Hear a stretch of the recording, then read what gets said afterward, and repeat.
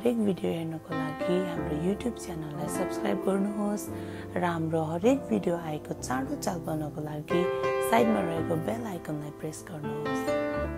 धन्यवाद। हुन्छ म हामी हिब्रू दसको सत्रदेखि हामी हेर्नेछौँ। यहाँनिर हिब्रू दसको सत्रले यसरी भन्छ तब उहाँ भन्नुहुन्छ तिनीहरूका पाप र तिनीहरूका दुष्ट कर्महरू म फेरि सम्झने छैन भन्नुहुन्छ।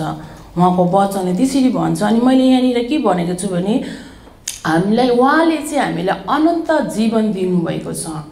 हाम्रो पास्ट टेन हाम्रो फ्युचर टेन प्रेजेन्ट टेन्स हाम्रो सबै हामी जन्मेदेखि मृत्युसम्मको लागि उहाँले हाम्रो पाप क्षमा गर्नुभएको छ। आमेन हामीले गर्ने भविष्यकाल भविष्यकाल वर्तमान काल बितेका दिनहरूमा सबै सबै अधर्महरू उहाँले हामीलाई क्षमा गरिसक्नु भएको छ। उहाँले हाम्रो हाम्रो लागि सबै पापहरू चाहिँ उठाइलानु भएको छ। हाम्रो अधर्महरूलाई उहाँले क्षमा गरिसक्नु भएको छ।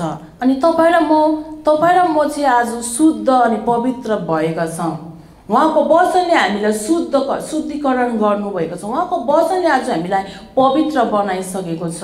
आज हामी पवित्र जाति भएका छौँ। अनि यहाँ अठारमा यसरी भनेको छ जब अब जहाँ यी सबै कुराको क्षमा छ त्यहाँ अब फेरि पापको निम्ति कुनै पनि बलि छैन भनेको छ। यसुले हाम्रो लागि एकचोटिमा सबै पापको बलि तिरिसक्नु भएको छ। अब फेरि पनि यसो हाम्रो लागि आउनुहुन्न। अब यसो हाम्रो लागि फेरि पनि आउनुहुन्न। यसुले हाम्रो लागि यसुले हाम्रो लागि बलि दिइसक्नु भएको छ। उहाँले उहाँको प्राणलाई हाम्रो निम्ति त्याग सक्नु भएको छ। अब फेरि पनि यसो ख्रेस आउनुहुन्न। अब कुनै पनि बलि बलि छैन। अब चाहिँ कुनै पनि पापको निम्ति बलि छैन भनेर यहाँनिर भन्दछ। अनि फेरि हामी यहाँ छब्बिस पनि हामी हेर्नेछौँ। किनकि यदि सत्यताको ज्ञान पाएर पनि हामीले जानी जानी पाप गर्यो भने पापको निम्ति अब उसो अरू कुनै बलि रहँदैन सत्ताइसले भन्छ तर इन्साफको डरलाग्दो प्रतीक्षा र विरोधीहरूलाई भस्म गर्ने क्रोधको अग्नि मात्र रहँदछ। अनि मोस यहाँनिर अठारले भन् अठाइसले भन्छ मोसको व्यवस्थालाई उल्लङ्घन गर्ने मानिस दुई वा तिन साक्षीहरूका गवाईमा दया बिना नै मर्नुपर्छ मर्नुपर्छ भनेर यहाँले लेखिएको छ। मलाई थाहा छैन यो वचन जब मैले पापाले मलाई यो वचन वचन वचन बोल्नु छोड्यो भनेर उहाँले मलाई भन्नुभयो। अनि त्यतिखेर मैले वचन जब मैले वचन प्रिपेयर गरेँ अनि जब मैले बेलुका प्रार्थना गरेँ पापा यतिखेर मैले भने मेरो यीशुसँग मैले भने म यतिखेर वचन प्रिपेयर गर्नु म सक्दिनँ तपाईँले मलाई थाहा छ। मैले एघार घन्टा काम गरिरहेको थिएँ। मेरो शरीर एकदम लाचर भइरहेको थियो। अनि मैले बेलुका प्रार्थना गरेँ अनि बिहान म बिहानै उभिउँछेँ अनि त्यतिखेर मैले टकटक यो वचनहरू मैले पाएँ।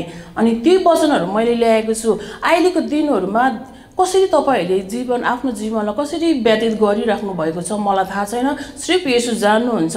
त्यस खातिर मैले त्यो वचन लिएर आएको छु। अनि यहाँनिर भनेको छ यहाँनिर भनेको छ किनकि यदि सत्यताको ज्ञान पाएर पनि हामीले जानी जानी पाप गऱ्यो भने पापको निम्ति चाहिँ अब उसो अरू कुनै बलि रहँदैन भनेर भन्छ। यसुको कुनै पनि बलि छैन अब चाहिँ। यसुले चाहिँ हाम्रो निम्ति सबै मैले अघि नै भनिहालेँ तपाईँहरूलाई। यसु ख्रिस्टले चाहिँ हाम्रो लागि हाम्रो बलि हाम्रो लागि चाहिँ यसु चाहिँ मरिसक्नु भएको छ। हाम्रो प्राणको लागि चाहिँ उहाँ मरिसक्नु भएको छ। अनन्त अनन्तसम्मको लागि चाहिँ उहाँले उहाँ उहाँले चाहिँ हाम्रो पाप क्षमाको लागि चाहिँ उहाँ मरिसक्नु भएको छ। अब चाहिँ हाम्रो लागि कुनै पनि बलि छैन भनेर यहाँनिर भनिरहेको छ।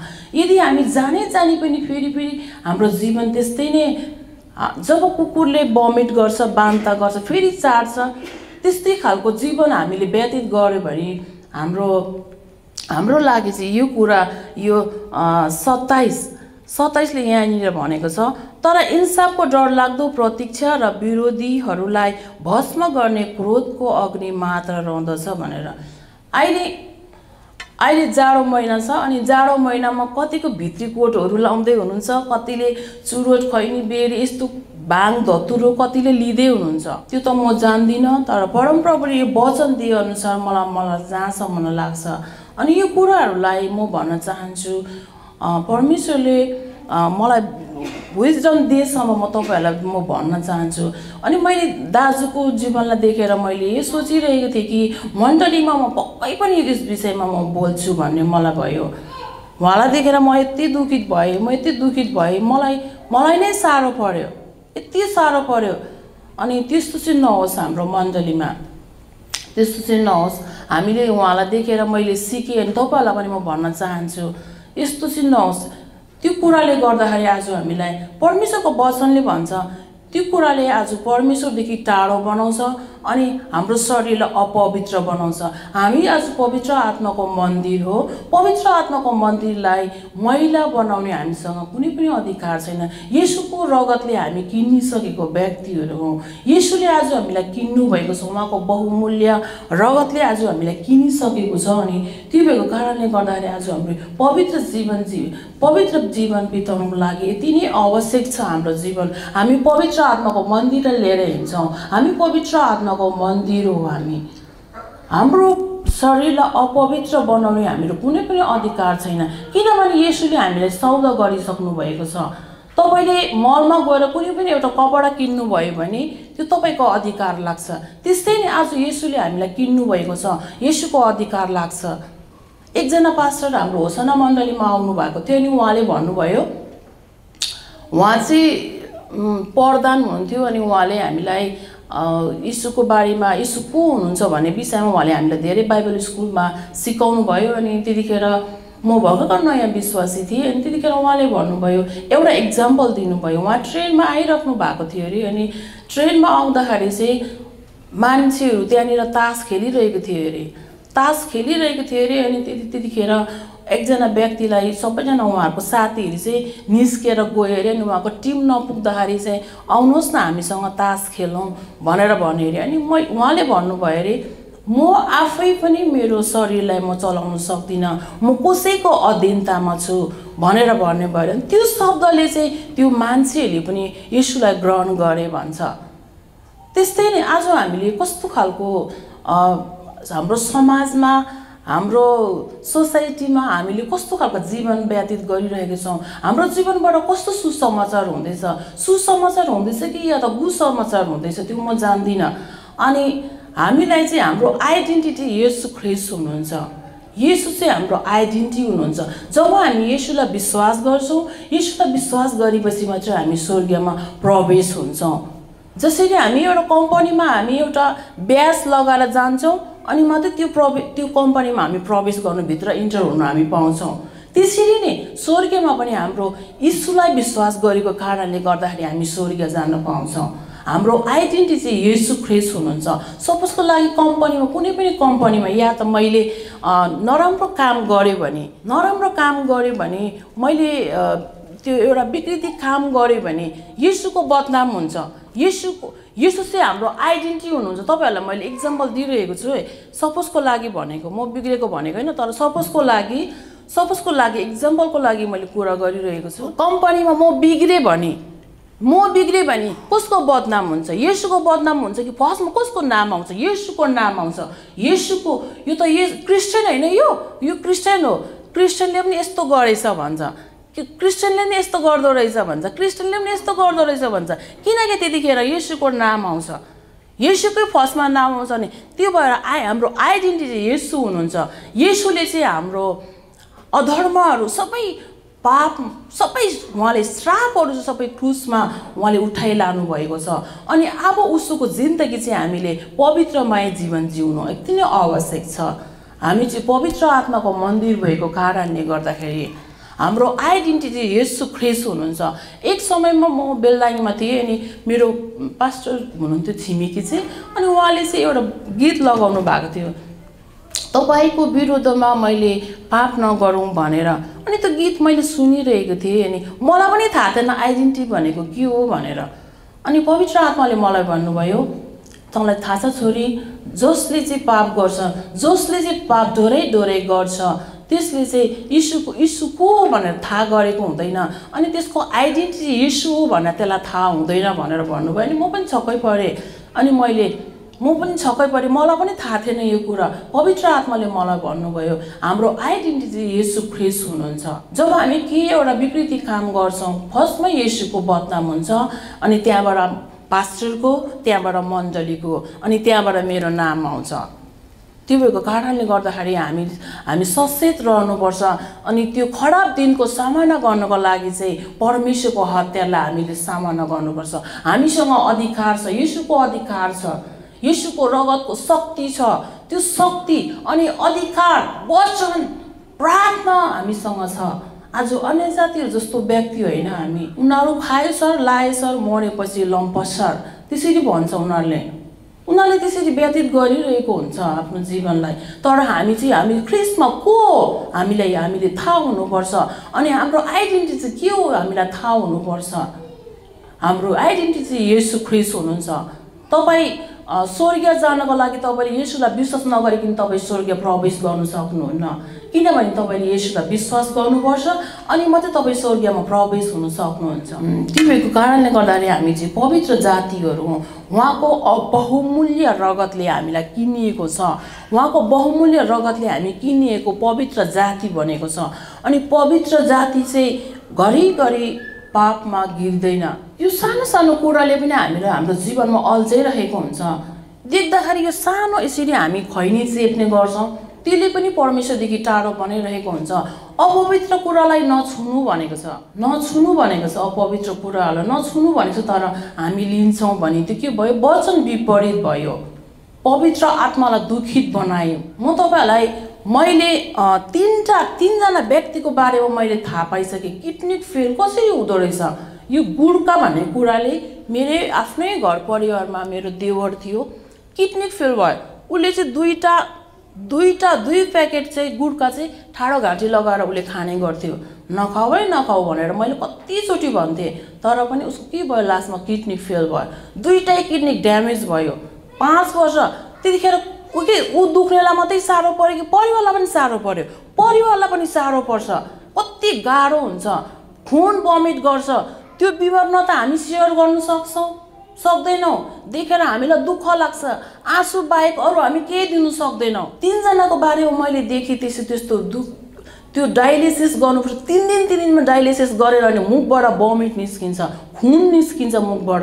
अनि त्यहाँबाट अहिले मेरो मेरो ज्वाइँ हुनुहुन्छ यहाँ खै भरमा के कहाँ हुनुहुन्छ उहाँको पनि किडनी फेल भएको छ। यहाँ अमेरिकामा आएर पनि किडनी दिने मान्छे छैन भने त्यसले बिजोग बनाउँछ बिजोग बनाउँछ। डायलिसिस गर्नु लगेको लगेकै गर्नुपर्छ?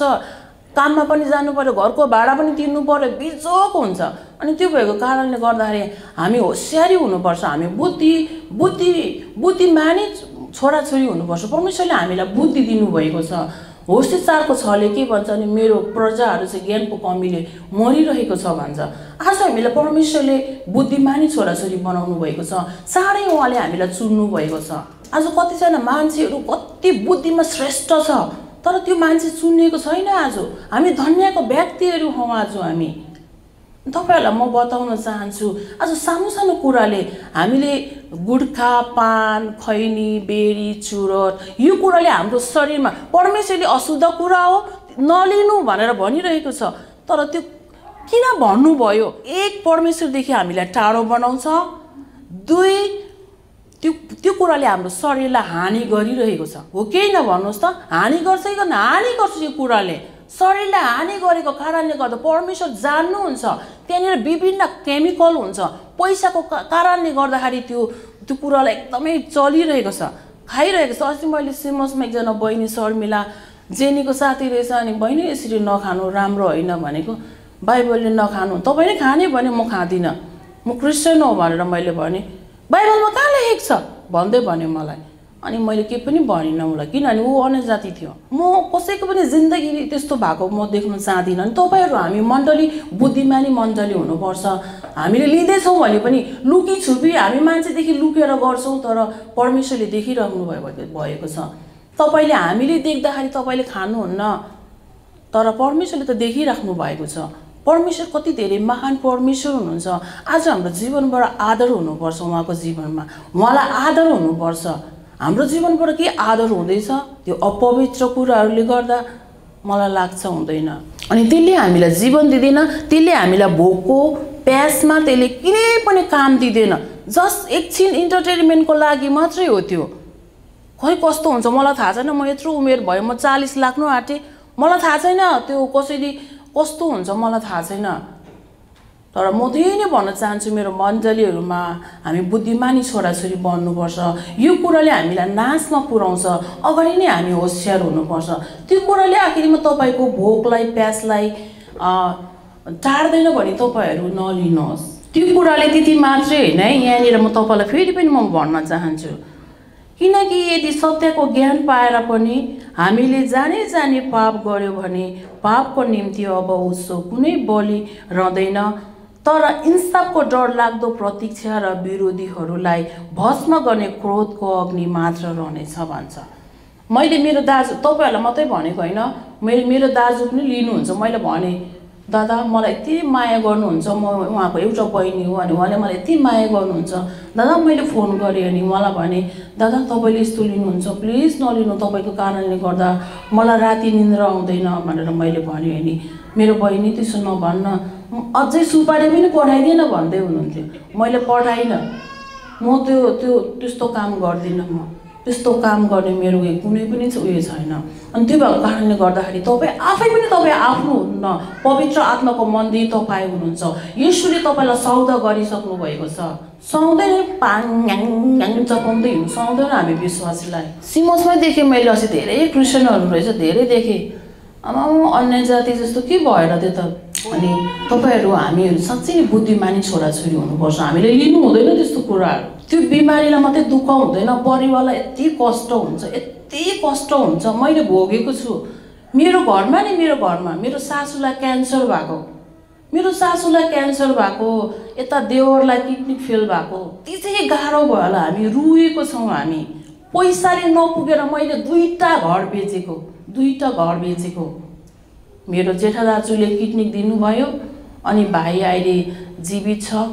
अहिले यसु अहिले यसुलाई पाएर ऊ जीवित छ राम्रो छ अहिले एउटा घोरले छोरा पनि पायो अनि त्यहाँबाट के अरे म तपाईँहरूलाई भन्छु साँच्ची कति कष्ट हुन्छ मैले भोगेको कुरा भनेको मैले जानेको कुरा भनेको मैले भोगेको कुराहरू मैले तपाईँहरूलाई भनिरहेको छु अनि त्यो भएर हामी त्यस्तो कुरामा हामी त्यो कुरादेखि हामी त्यो कुरामा हामी हिँड्नु हुँदैन सानो कुराले हामीलाई हामी साङ्गुरो बाटोमा छौँ हो हामीलाई धेरै कुराले हामीलाई यसरी आङकुसीले हामीलाई अल्झाइरहेको हुन्छ। तर त्यस्तो कुराहरूमा चाहिँ हामी अल्झिनु हुँदैन। त्यो कुराले हामीलाई आखिरमा जीवन दिँदैन भने हामी किन लिने? खुसी लाग्यो तपाईँहरूले। लिनुहुन्छ भने नि अबदेखि उसो तपाईँहरूले नलिनुहोस्। त्यसले हामीलाई जीवन दिँदैन। जुन यीशुले हामीलाई जीवन दिनुहुन्छ। सैतानले के भन्छ थाहा छ? यो यो न दसको दसमा चोर्न मार्न नाश गर्न आयो भन्छ। त्यो दुष्ट खाते भूतले तपाईँलाई नष्ट पार्छ। साँच्ची भनेको। अस्ति मलाई म किन मैले दर्शन देखेँ रोमन र म थिएँ अनि त्यहाँबाट दुईवटा खाल्टो रहेछ रोमनको अगाडि मेरो अगाडि दुईवटा खाल्टो रहेछ। अनि मलाई त कालो गोरुले हानेर त तल त्यो त्यो त्यो खल्टामा हाल्नु आँटेको रहेछ। मैले जस्तो देखेर म पुरुक्क उफ्रेर म भागेँ। छिटो छिटो नगरेको भए मैले अठार सौ मैले मेरो डेबिट कार्डमा ओभरड्राफ्ट लागिहालेको। सैतानले यस्तो गर्छ दुष्टले यस्तो गर्छ खाते भूतले। मैले प्रार्थना यति धेरै मैले मैले अन्य भाषामा प्रार्थना गरिरहेको थिएँ। मलाई खाते भूत भनेर नाम पनि थाहा थिएन तर मलाई पवित्र आत्माले खाते भूत भनेर सिकाउनु भयो अनि म खाते भूत भन्छु त्यसलाई त म त्यसलाई त म समातेर लात्तै लात्तले हिर्काउनु मनपर्छ। त्यो भूतलाई त म साँच्ची भनेको विरोध गर्नुपर्छ हामीले त्यसको। त्यसले हामीलाई कहिले पनि हामीलाई जीवनै दिँदैन त्यसले। यति विरोध गर्छ नि हाम्रो हामीलाई रिस गर्छ त्यसले। हाम्रो दाजुको बारेमा मलाई यति मलाई उयो लागेको नि मलाई साँच्चै भनेको मलाई साह्रै मेरो मलाई मेरो म के भन्नु? त्यसको विषयमा मलाई भन्नु उयो छैन। यति धेरै मलाई गाह्रो भएको यति धेरै गाह्रो भएको। अझै बाँच्नुपर्ने मलाई चित्तै बुझेन अझै बाँच्नुपर्ने थियो अझै बाँच्नुपर्ने थियो। तर के गर्नु र? उहाँको फङ्सन गर्ने कुनै पनि कुरा थिएन। तपाईँहरूलाई मैले यो कुरा गरेर दुखित बनाउनु चाहिँ खोजेको होइन। तर मैले इक्जाम्पल दिएर तपाईँहरूलाई मैले भनिरहेको छु तपाईँले ताकि त्यो कुराहरूबाट तपाईँहरू पनि छुटकारा होस् भनेर मैले भनिरहेको छु। म मैले जब जब परमेश्वरले मलाई वचन वचन पापाले मलाई वचन छोरी वचन प्रिपेयर गर्नु भन्नुभयो अनि मैले वचन मेरो शरीर यति थाकित भइरहेको थियो अनि मैले परमेश्वरलाई भने मलाई थाहा छैन मैले के वचन बोल्नु पर्ने म जान्दिनँ तपाईँले दिनुहोस् भन्दाखेरि यो वचन दियो अनि त्यस मुताबिक म बोल्दैछु। परमेश्वरलाई थाहा छ तपाईँ कसरी जिरहनु भएको छ तपाईँले कस्तो जीवन जिइरहनु भएको छ। हामीलाई ठुलो क्वेसन मार्क छ। अनि परमेश्वरले हामीलाई बुद्धिमानी छोराछोरी बनाउनु भएको छ। अनि परमेश्वरले हामीलाई वचन दिनुभएको छ। वचन त नछुनु नछुनु भनेर भन्छ भने हामी जबरजस्ती छुन्छौँ अनि त्यहाँबाट त्यो कुराले हामीलाई बिराइरहेको हुन्छ बिराइरहेको हुन्छ अनि सैतानलाई गाली दिन्छौँ हामी। आफ्नै निर्बुद्धिको कारणले गर्दाखेरि तर। अनि हामी म के भन्छु भने रात हामीलाई सुत्ने समय दिनुभएको दिन परमेश्वरले हामीलाई काम गर्नुको लागि दिन दिनुभएको। म युथहरूलाई पनि म भन्न चाहन्छु म नाम तोकी तोकी भन्छु म। मैले अघि भनेको छु म नाम तोकेर भन्छु भनेर। हामी बुद्धिमानी छोराछोरी हुनुपर्छ। अनि त्यो डल्ले खोर्सानी भिजाको डल्ले खोर्सानी खायो अनि त्यहाँबाट बिमारी भयो अनि आथा आथा त गऱ्यो अनि सैतान भन्नु हुँदैन त्यसरी। मलाई लाग्छ सैतान भाग्दैन उल्टा हमला गर्छ। बुद्धिमानी हुनुपर्छ